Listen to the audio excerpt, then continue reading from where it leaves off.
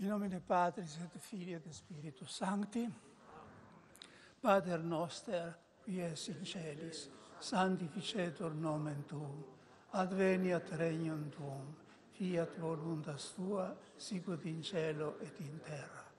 Panem nostrum quotidianum da nobis hodie, et dimitte nobis debita nostra, sicut et nos dimittimus debitoribus nostris, ne nos inducas in tentationem, sed libera nos a malo. Amen. Regina Pacis, ora pro nobis.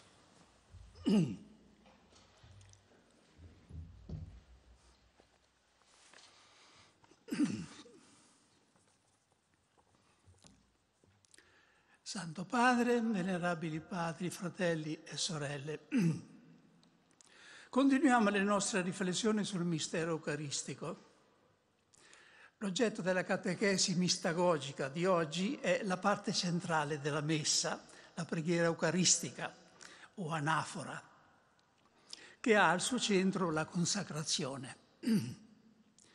Facciamo su di essa due tipi di considerazione una liturgica e rituale, l'altra teologica e personale, esistenziale. Dal punto di vista rituale o liturgico abbiamo oggi una risorsa nuova che non avevano i padri della Chiesa e neppure i dottori medievali. La risorsa nuova di cui disponiamo è il riavvicinamento tra cristiani ed ebrei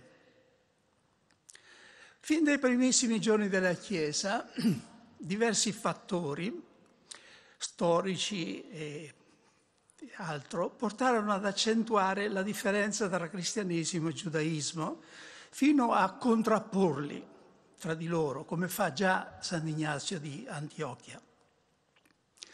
Distinguersi dagli ebrei nella data della Pasqua, nei giorni di digiuno e in tante altre cose, diviene una specie di parola d'ordine.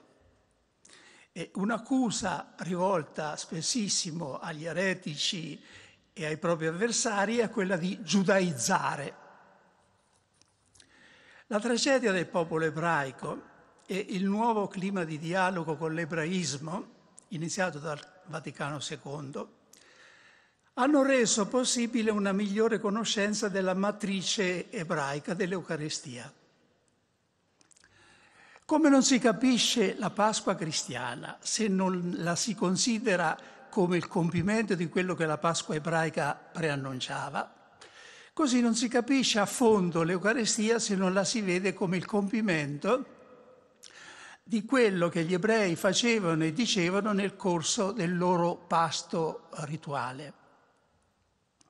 Un primo risultato di questo è stato che oggi nessuno studioso serio avanza più l'ipotesi che l'Eucarestia cristiana si spieghi alla luce della cena in voga nei misteri eh, cultuali dell'ellenismo, come si è tentato di fare per più di un secolo.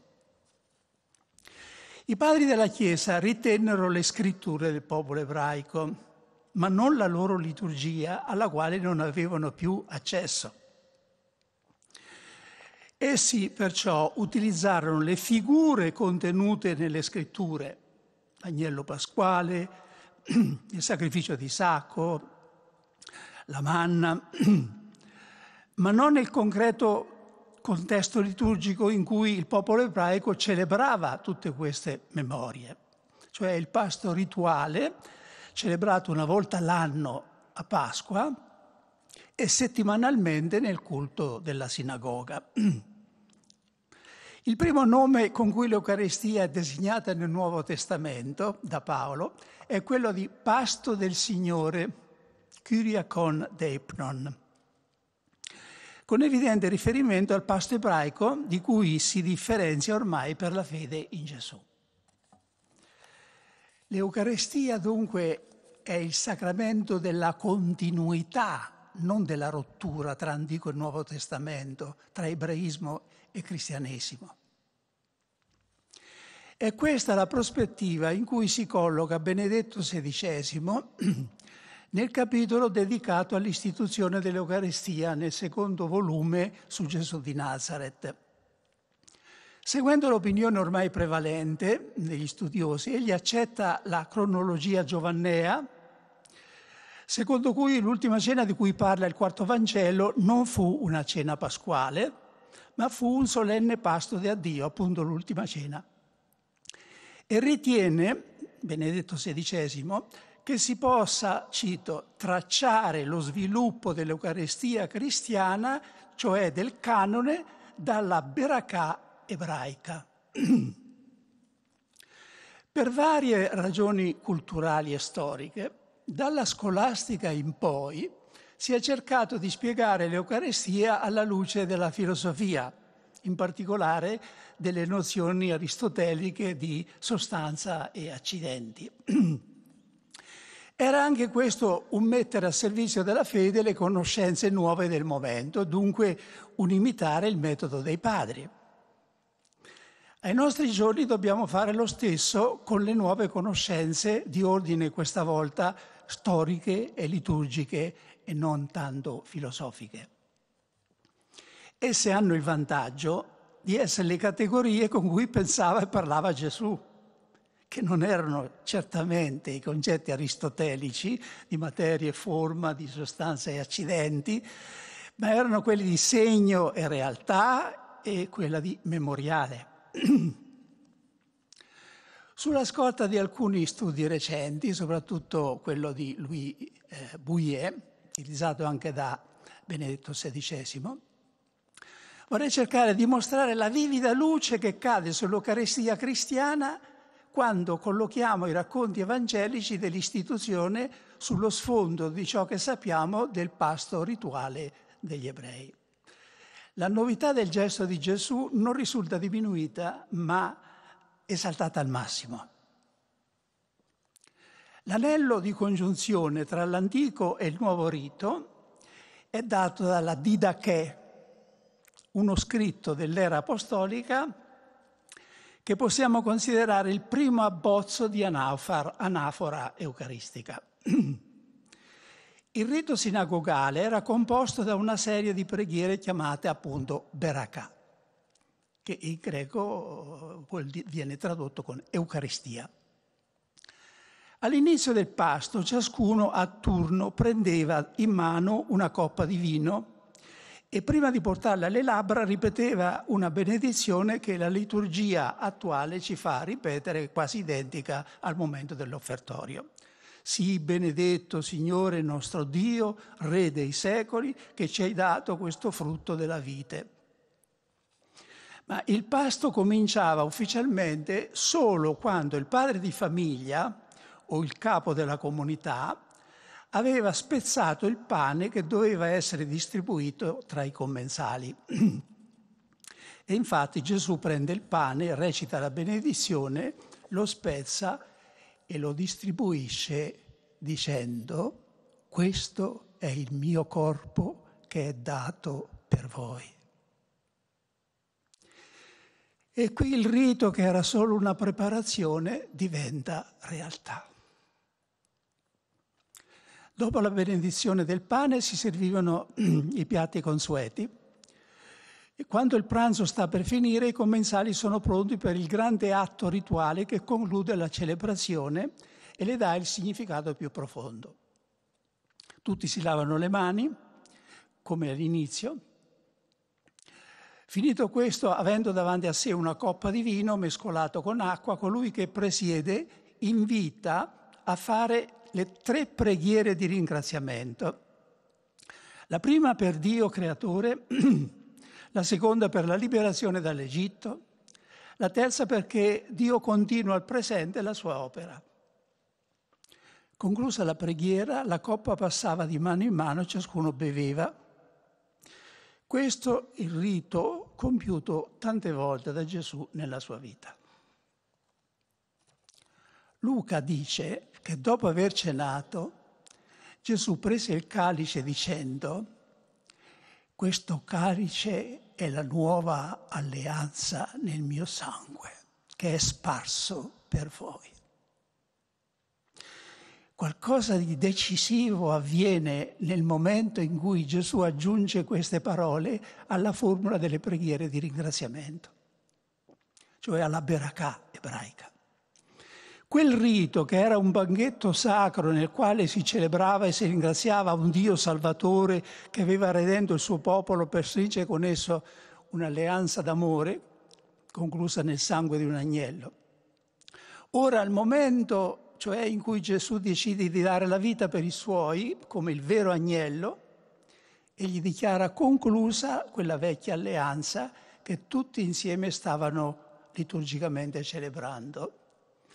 In quel momento, con poche semplici parole, egli stringe con i suoi la nuova ed eterna alleanza nel suo sangue. Aggiungendo le parole fate questo in memoria di me, Gesù conferisce una portata duratura al suo dono. Dal passato lo sguardo si proietta verso il futuro tutto quanto Egli ha fatto finora nella cena è messo nelle nostre mani. Ripetendo quello che Lui ha fatto, si rinnova quell'atto centrale della storia umana, che è la morte di Gesù per, la, per il mondo. La figura dell'agnello pasquale che sulla croce diventa evento, nella cena ci è dato come sacramento cioè come memoriale perenne dell'evento.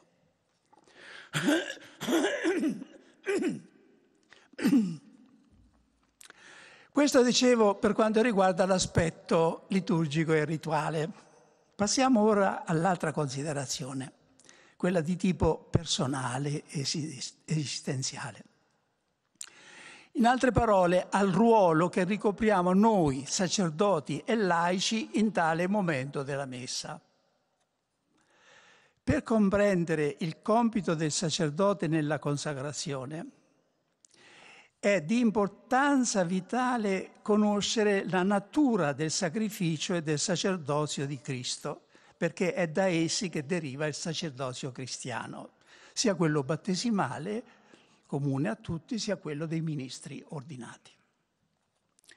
Noi non siamo più in realtà sacerdoti secondo l'ordine di Melchisedec, siamo sacerdoti secondo l'ordine di Gesù Cristo. All'altare agiamo in persona Cristi, cioè rappresentiamo il sommo sacerdote che è Cristo.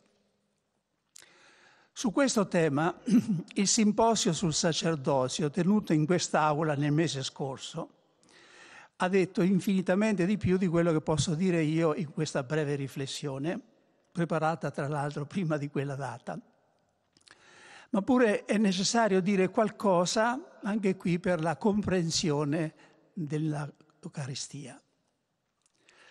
La lettera agli ebrei spiega in che consiste la novità e l'unicità del sacerdozio di Cristo. Egli entrò una volta per sempre nel santuario, non mediante il sangue di capri e di vitelli, ma in virtù del proprio sangue, ottenendo così una redenzione eterna. Ogni sacerdote offre qualcosa di esterno a se stesso. Cristo offrì se stesso.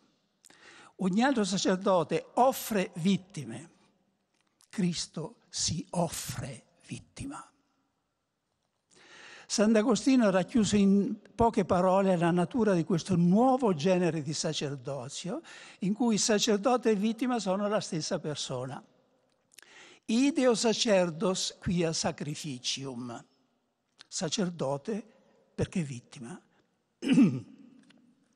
Lo studioso francese René, René Girard ha definito questa novità del sacrificio di Cristo come, cito, il fatto centrale nella storia religiosa dell'umanità, che ha posto fine per sempre all'intrinseca alleanza tra il sacro e la violenza.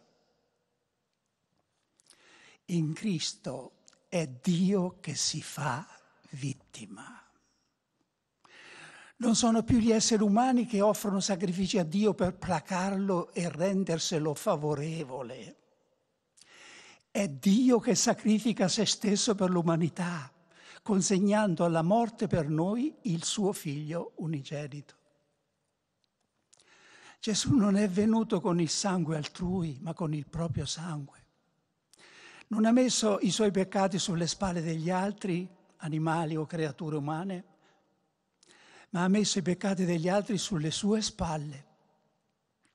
Egli portò i nostri peccati nel suo corpo sul legno della croce, dice Pietro.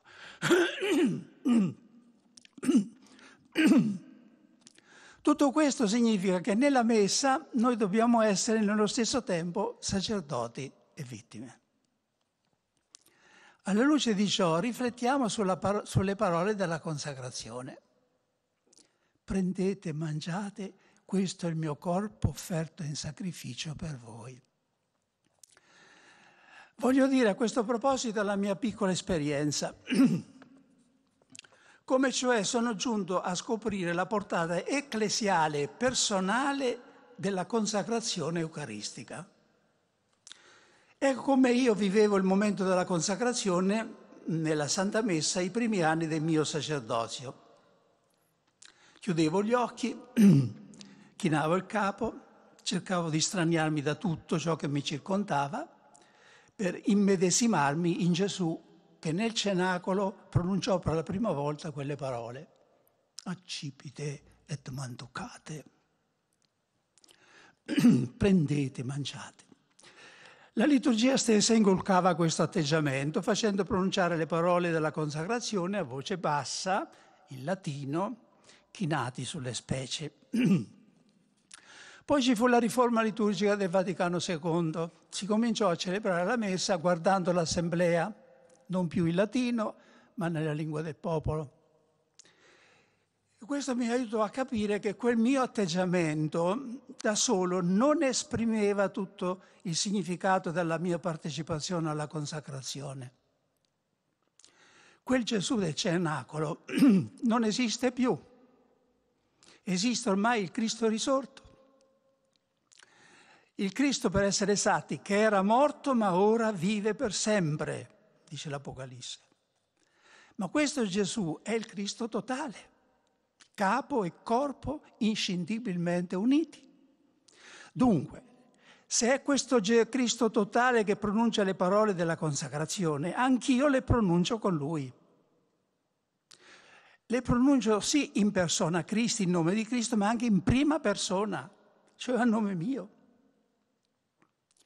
Dal giorno in cui capii questo, cominciai a non chiudere più gli occhi al momento della consacrazione, ma a guardare almeno qualche volta i fratelli e sorelle che avevo davanti, o se celebro da solo penso a coloro che devo incontrare nella giornata, ai quali devo dedicare il mio tempo, o penso addirittura a tutta la Chiesa e rivolta ad essi dico con Gesù, fratelli e sorelle, prendete, mangiate, questo è il mio corpo.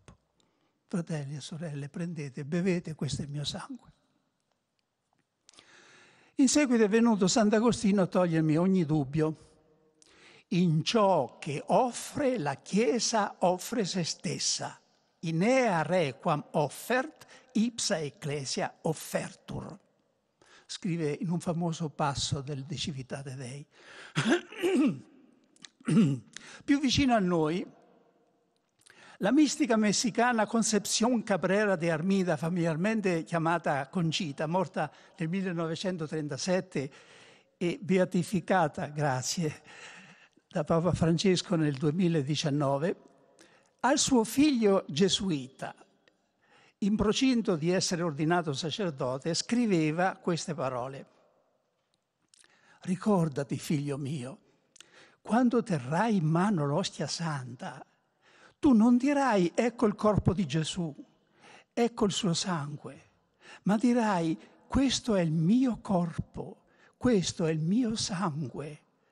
Cioè deve operarsi in te, figlio mio, una trasformazione totale, devi permet- perderti in lui ed essere un altro Gesù. Tutto questo non si applica soltanto ai sacerdoti ordinati, ma a tutti i battezzati. Un testo famoso del Concilio così si esprime. I fedeli, in virtù del regale loro sacerdozio, concorrono all'oblazione dell'Eucarestia. Partecipando al sacrificio eucaristico, fonte e culmine di tutta la vita cristiana, offrono a Dio la vittima divina e se stessi con essa. Così tutti, sia con l'oblazione che con la Santa Comunione, compiono la propria azione nella, nella, nella liturgia, non però ugualmente, ma chi in un modo e chi in un altro. Ci sono due corpi di Cristo sull'altare. C'è il suo corpo reale, il corpo nato da Maria, morto e risorto, è sceso al cielo, e c'è il suo corpo mistico che è la Chiesa.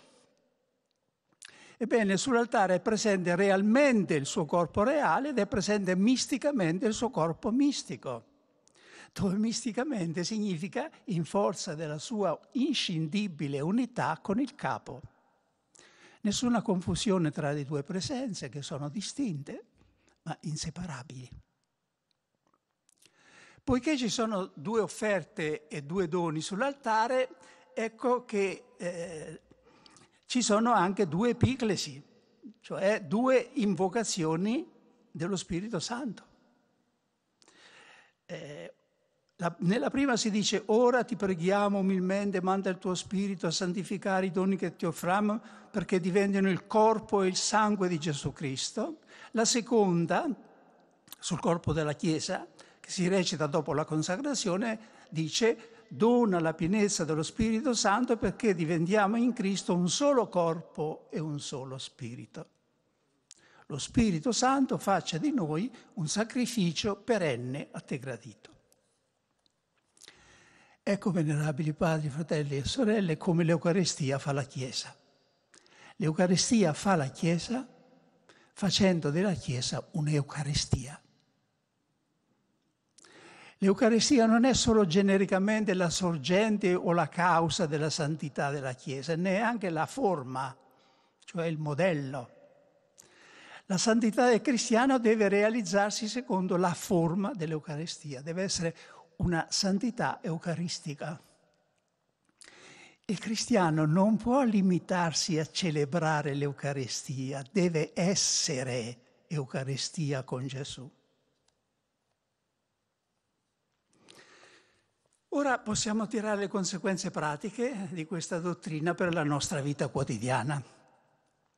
Se nella consacrazione siamo anche noi che rivolte ai fratelli diciamo prendete, mangiate, questo è il mio corpo, prendete, bevete, questo è il mio sangue, dobbiamo sapere cosa significano corpo e sangue per sapere ciò che offriamo.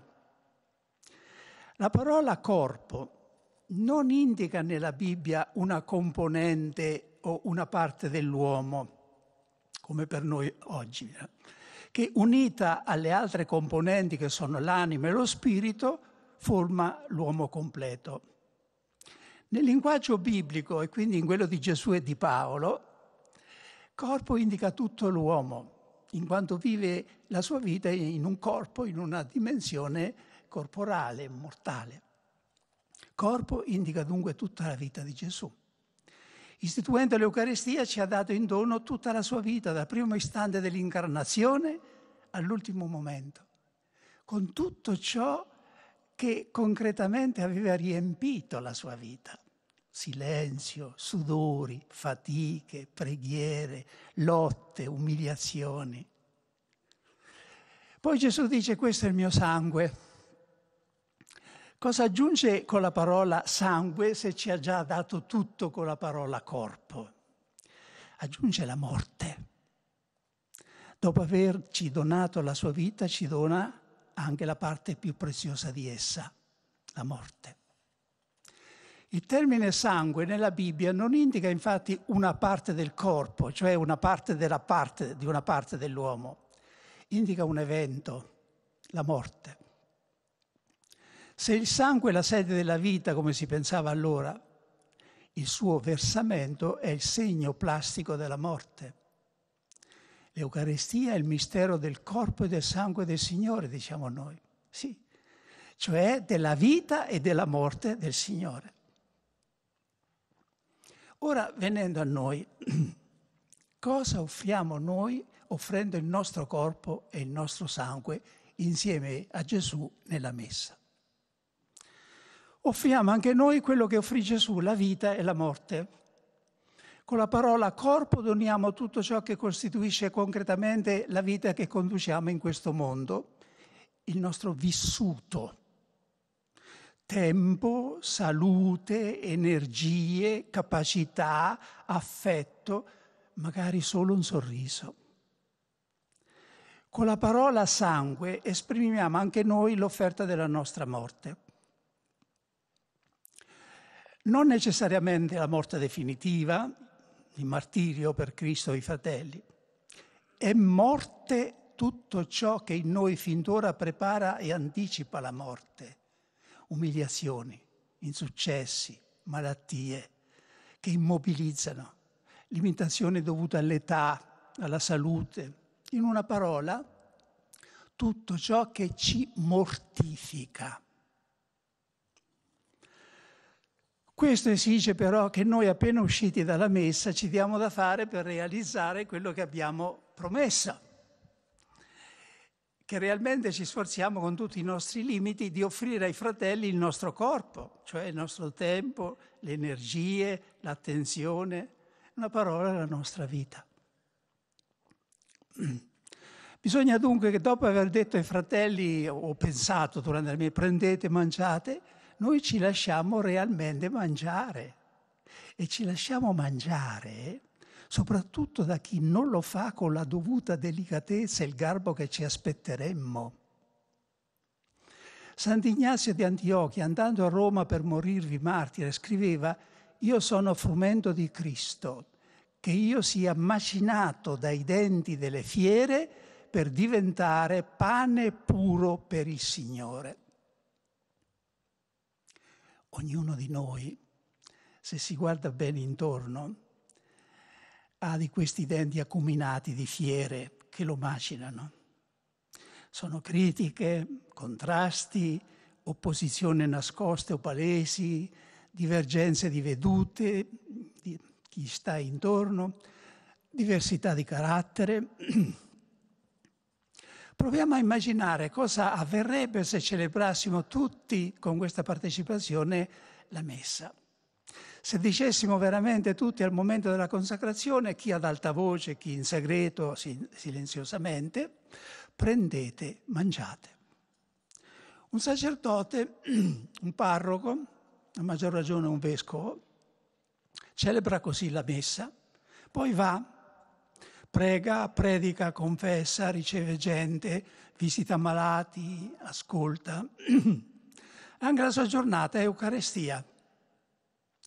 Un grande maestro di spirito francese, Pierre Olivin, diceva, al mattino nella messa, io sono sacerdote, Gesù è vittima. Lungo il giorno, lui è sacerdote, io la vittima. Così un sacerdote imita il buon pastore perché realmente dà la vita per le sue pecorelle. Vorrei riassumere, venerabili padri, fratelli e sorelle, adesso brevemente, con l'aiuto di un esempio umano, cosa avviene nella celebrazione eucaristica. Pensiamo a una numerosa famiglia in cui c'è un figlio, il primogenito, che ammira e ama oltre misura il proprio padre.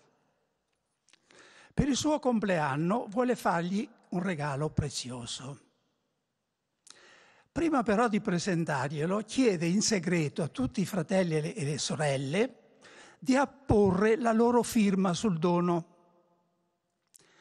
Questo arriva dunque nelle mani del padre come il segno dell'amore di tutti i suoi figli indistintamente anche se in realtà uno solo ha pagato il prezzo di esso. È ciò che avviene nel sacrificio eucaristico. Gesù ammira e ama sconfinatamente il Padre Celeste. A lui vuole fare ogni giorno, fino alla fine del mondo, il dono più prezioso che si possa pensare, quello della sua stessa vita.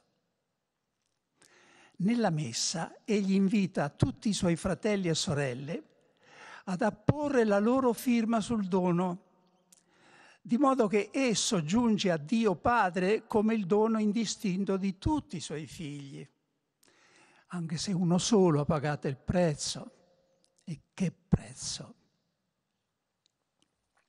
La nostra firma sono le poche gocce d'acqua che vengono mescolate nel vino del calice. Esse non sono che acqua, ma mescolate nel calice diventano un'unica bevanda.